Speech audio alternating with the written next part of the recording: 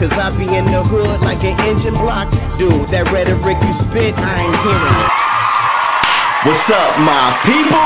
This is Showbiz the Dope.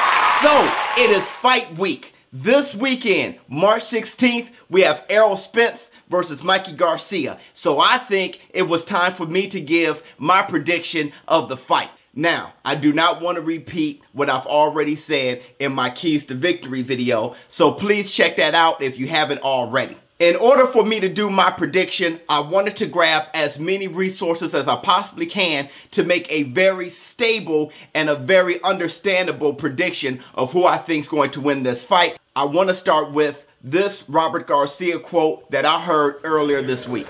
Spence is not that one fighter that that you know you can find that one thing and that's all you know. It's got to be a little bit of everything. Mike just have, has to have a perfect fight. He has to fight a perfect fight He has to have a perfect fight.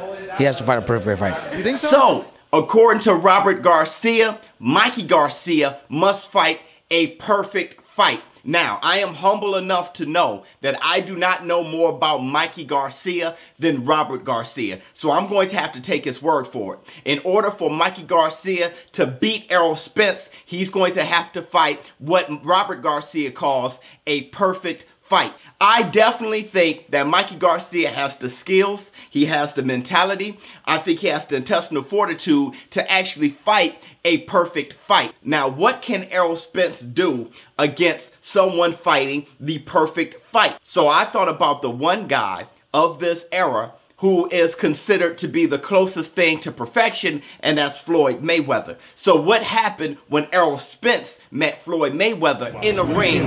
Well, this is what happened. You know, I call a spade a spade. So he was giving me, actually, he gave me, he was giving me good work, real good work. And he pushed me, made me get myself, he made me get in tip-top condition. And when I got in tip-top condition, I was Floyd Mayweather. Floyd Mayweather Sporting was handed to him by Errol Spence. I heard they both had black eyes. That's what I heard. I haven't seen either one. I was at a party with Floyd um, Sunday night. I forgot to look. We had a little party for him Sunday night in Vegas. But I heard they both gave each other black eyes. That happens in the gym. Now, allegedly, Errol Spence gave Floyd Mayweather all he can handle. Here's what I just heard from Rockman Jr. just yesterday. For the smoke was. I did see him. I did see him box Floyd though, and and, and um, how I was did that there go? when they first spot. Can you tell us how that went? I mean, y'all see where Errol at right now. He world champion. I mean, he he you know he did his thing. So it, it wouldn't have, it wouldn't have been it would have been if it was the other way around. It wouldn't be no it wouldn't have been no story. Mm-hmm. You know, it'd have been like everybody else. But when it's when it's somebody who has been to that level and done that, then you know everything that happened in the gym stay in the gym. But you can read between the lines. Mm-hmm. I think that it was more than just a black eye.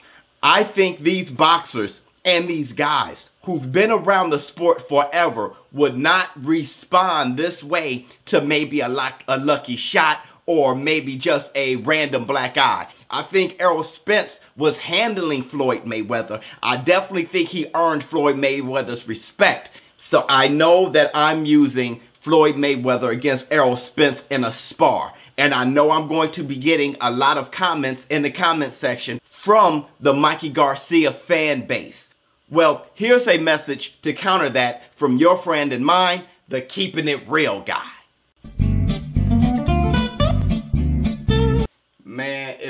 Ever heard that Mikey Garcia beat Floyd Mayweather in a sparring session. Oh my God, that's all we ever hear is how Mikey Garcia beat Floyd Mayweather in a sparring session. Oh, but if you use Errol Spence beating Floyd Mayweather in a sparring session, it's just sparring. But if Mikey Garcia would have beat Floyd Mayweather in a sparring session, don't you lie to me. You know, like I know, that that's all you guys will be talking about. I am sick of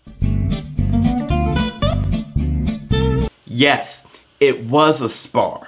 But like the Keeping It Real guy said, if Mikey Garcia handled Floyd Mayweather allegedly in a sparring session, then that's all we'll be hearing is how Mikey Garcia handled Floyd Mayweather. I think it's only fair and I think we have to be reasonable in our response to this that that is a big deal that Errol Spence handled Floyd Mayweather before he even had the experience. He handled someone who has a perfect record, who has a lot of experience, an Olympian himself. He is Floyd Mayweather, one of the greatest fighters of all time. He handled him in a sparring session so much that Floyd Mayweather kicked him out of the gym.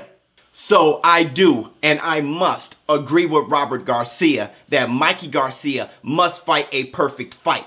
But I'm also considering what Errol Spence has done against perfection. If you grab those two things, I have to give the edge to Errol Spence. I think Errol Spence is bigger, he's faster, he's stronger, he's technically sound, he's a great boxer. I am still questioning if Mikey Garcia is even a better boxer than Errol Spence. I guess we'll see Saturday. But my prediction for the fight, I got Errol Spence beating Mikey Garcia by knockout. Please comment below what you think. What do you think about all of the allegations of what happened between Errol Spence and Floyd Mayweather? Do you think that that is a good argument to why Errol Spence will beat Mikey Garcia? And